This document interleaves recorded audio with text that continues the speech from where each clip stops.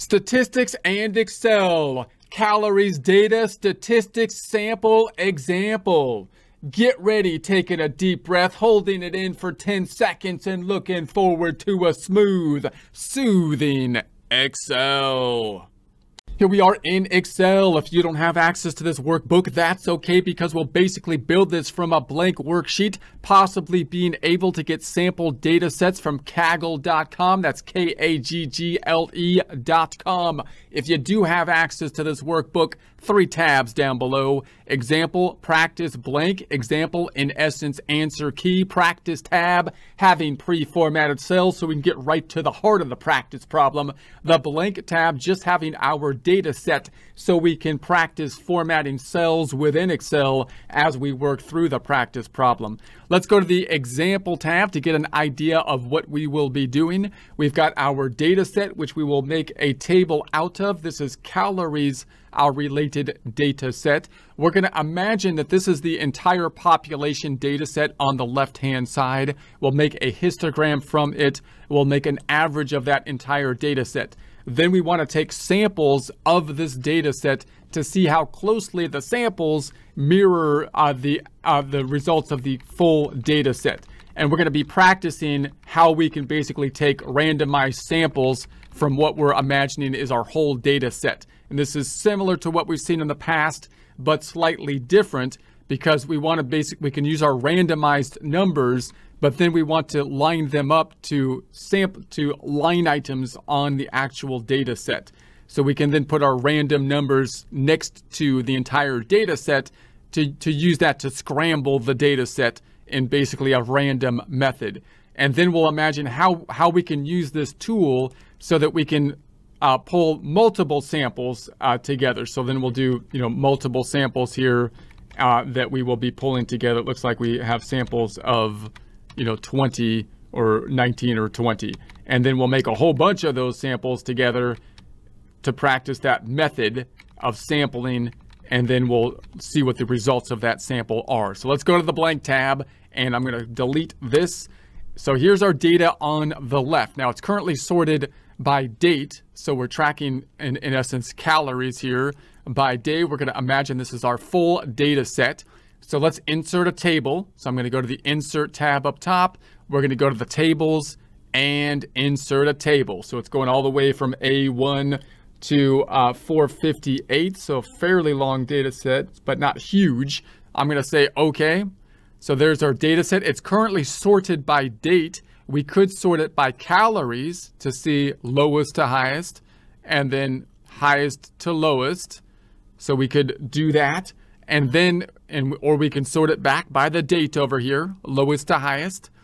And then we're going to take that data and do some calculations from it. Let's do our standard average. I'm going to pull in column C, bringing that in a bit. And our, our standard kind of uh, calculations then would be the average or mean. Before I do this, by the way, I should have done this first. I'm gonna I'm going to format the entire worksheet.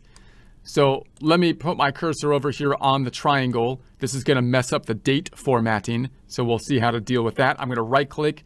I'm going to format the entire worksheet and I'm gonna go then to my baseline formatting, which I would like to be the currency, negative numbers bracketed and red, and I don't think we need the decimals, so I'll remove the decimals and no dollar sign. So I'm going to say OK. When I do that, it's going to mess up the date formatting over here. So I'm going to go OK. So messed up the date formatting. Then I'll just select this entire column and go to the Home tab, Number Group. And in this drop down, this is like the quick formatting. I can find then the date. So I can go down to the short date and it'll populate it back to the date. So that looks good. Let's make this one white on the font. Okay, and normally I would like to do that to the sheet before I add the actual data possibly, uh, if possible, and that will make things a little bit faster sometimes. Then I'm gonna select the calories and, or let's, let's calculate our average first. Let's go to the average, average, or mean.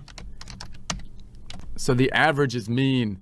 I'm going to pull this to the to the right and we'll say this equals the average. There's our function, double click in the function, selecting just the numbers. So we have the drop down in our table.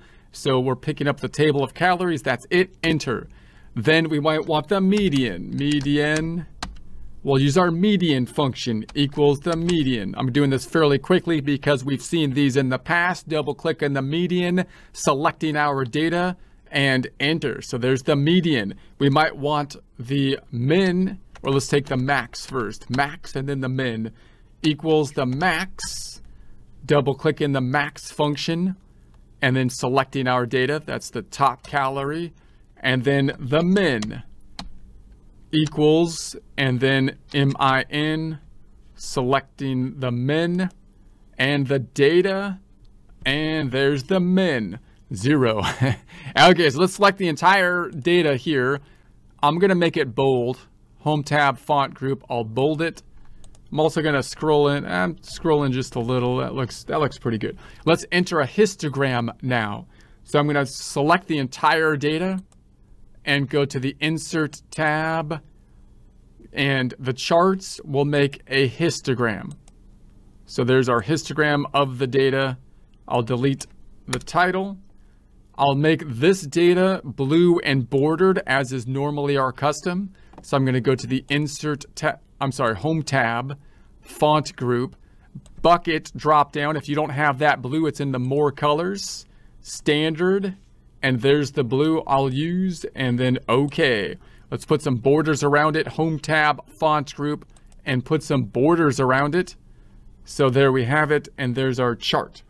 Okay, so now let's create our sample. So if I wanted to make a random sample, uh, of this of these numbers, then what I could do is say I'm going to put this next to a column where we randomly generate numbers and then organize the randomly generated numbers in order so it will shuffle the calories column randomly, right? And then we can pick the numbers. Now, if I want to do multiple samples, then we can make we can make multiple of these kind of random random shuffling tools. So let's try doing that. I'm going to select the entire column, column B, right click and copy. And I'm going to put that over here somewhere. I'll put it over here in uh, M. Right click. I'm going to paste it just one, two, three, because I want to put a different table around it. And then here's my random shuffle. My random shuffle tool will be over here. I'm going to use just the normal random shuffle generator equals rand double clicking that and then I'm just